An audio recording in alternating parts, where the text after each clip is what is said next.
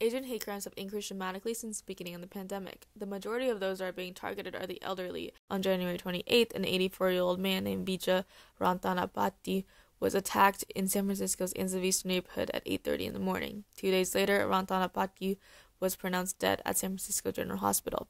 On Lunar New Year's, February 12th, Han Jun-si and his family was celebrating the holiday when several teenagers shouted racial slurs and hurled rocks at their house. Most recently, the family of Angelo Quinto filed for wrongful deaths against the city of Antioch, California on February 18th. It was reported that the police officers kneeled on the back of Quinto's neck for nearly five minutes to subdue him. Quinto never regained consciousness and passed away three days later. This comes just months after the George Floyd murder. However, there isn't as much public attention on the matter. Instead of all major cities protesting against the matter, the only reported rally was in New York City, where hundreds of citizens came out to fight against anti Asian hate.